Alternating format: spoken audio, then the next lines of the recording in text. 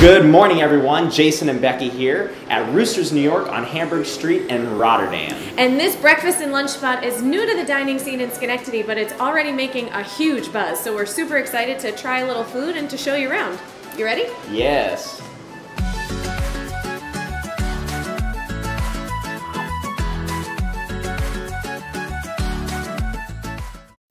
So we are here with owner and operator Carlo. And Carlo, so tell us a little bit about Roosters New York and the, the reason behind wanting to open it. Uh, Roosters New York is an innovative cafe and luncheon. Um, we're locally uh, sourced ingredients and um, we try to do everything in-house, uh, made to order. We have no freezers, no microwaves.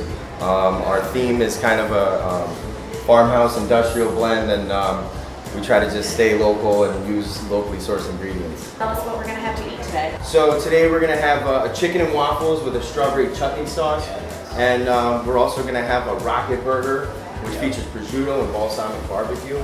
And um, we're also going to have a strawberry blue salad, which uh, has a fig balsamic dressing. That sounds amazing. Stuff. Well, I'm hungry. What do you say? Ready to eat? I'm ready to do it. So pro tip guys, you can come and sit down and have a great breakfast or lunch here at Roosters, but you can also get anything you want from their menu to go. So all of their fresh ingredients, their breakfast sandwiches, salads, waffles are all available here at their to-go counter. They also have amazing coffee. I'm actually trying their most popular brand, Holy Cannoli. And now it looks like I'm ready to go. So this looks absolutely amazing. Carlo, can you tell us a little bit more before we dive in about what we're about to eat? Absolutely. Um, for breakfast, we do feature a chicken and waffles. Uh, it's breaded with cornflakes, um, crushed red pepper, and uh, onion powder. So it's like Um, breakfast chicken with bread and with cornflakes. That's awesome. It features uh, strawberry chutney sauce, which has uh, lemon juice, uh, orange peel, raspberry vinegar, raisins, uh, brown sugar, and fresh strawberries. Um, then we also have a rocket burger. Um, that's kind of uh, the idea is from Italy.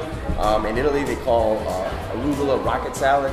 Um, so we decided to put imported prosciutto, uh, balsamic barbecue, fresh shaved parmesan, um, tomatoes, onion, and arugula on top of the burger. Uh, yeah, that was awesome. definitely something to indulge in. Absolutely. And then for a healthier portion, this is a gluten-free salad.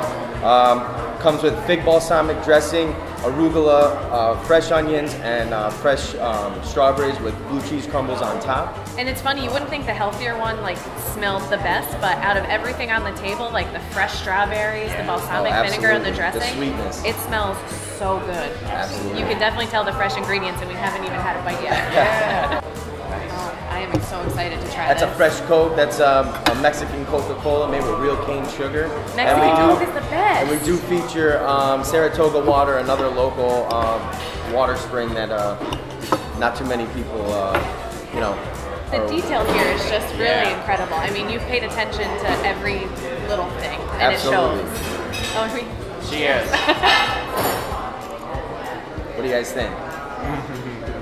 I love The love strawberry, the chutney. It's very, it's it's sweet, but it's tangy all at the same time. And A big thanks to Carlo and his family for a very delicious and fresh meal that we had right here at Roosters on Hamburg Street. It was super awesome, and don't forget that you can find them at their website, on their Facebook, their Instagram, and you can also follow us at Schenectady Eats and at Discover Schenectady. And we'll see you next time on Schenectady.